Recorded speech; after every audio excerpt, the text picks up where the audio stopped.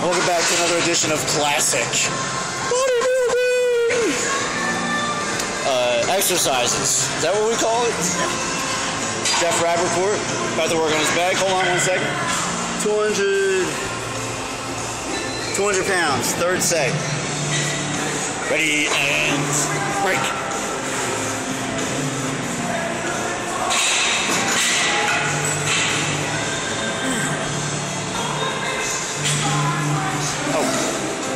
Oh, you got more than two?